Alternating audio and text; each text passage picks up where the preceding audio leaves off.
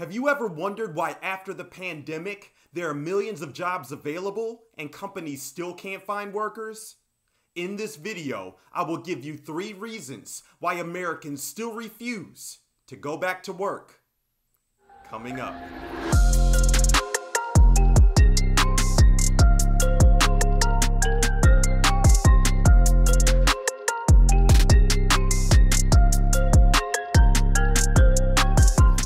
Meeting for the first time, my name is Lon Jordan, and I am a speaker and author of Sketched by Design. And I give tips to help people discover their unique design so they can be successful in the 21st century marketplace. So, why are Americans refusing to go back to work? Well, the first reason is that they desire to be their own boss. What human beings desire more than anything is the freedom to be who they are and the flexibility to create their own schedule. And if the pandemic has taught us anything, it is that people have grown tired. People are tired of having to ask their bosses for permission to go on vacation.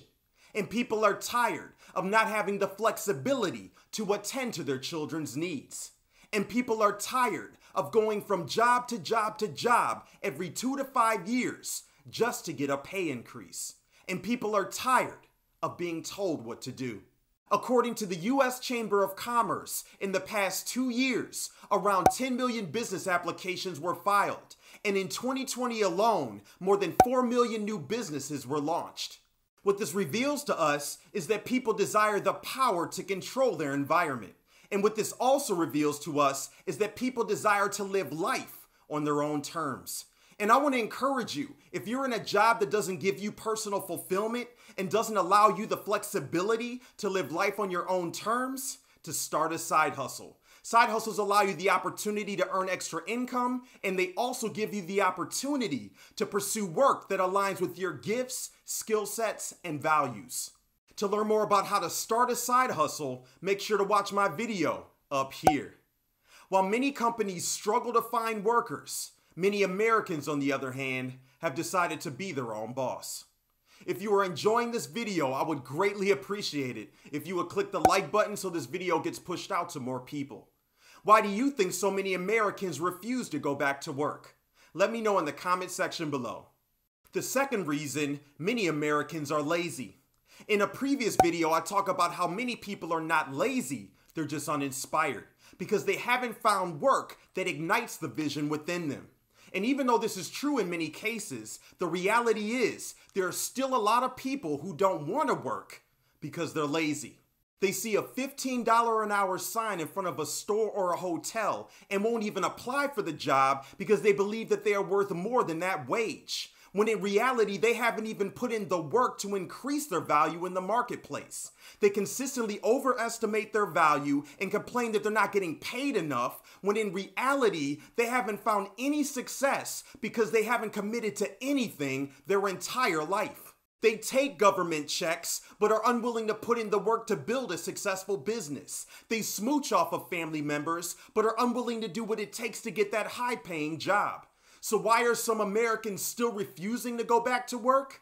It's because they're lazy. And until we start taking an honest look at ourselves and analyze why we are stuck in our situation, we will never begin to see success for ourselves. Third reason many Americans are changing careers. According to a survey conducted by the U.S. Chamber of Commerce, 33% of women indicated that the need to be home and take care of children and family members has made it nearly impossible to return back to work.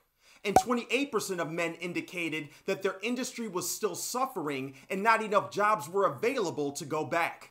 What this reveals to us is that many Americans are changing careers because of the lack of flexible hours, lack of access to childcare, and opportunities.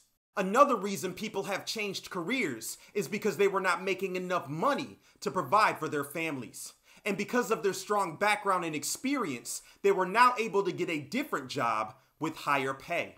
And believe it or not, some people had the extra time to transition into another career because someone else in their household was making enough money where they were able to quit their job and find work that was more fulfilling.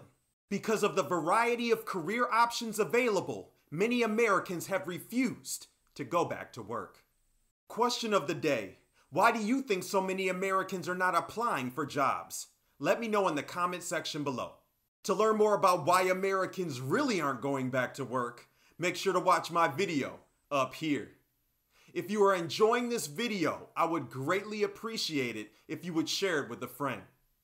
See you in the next video.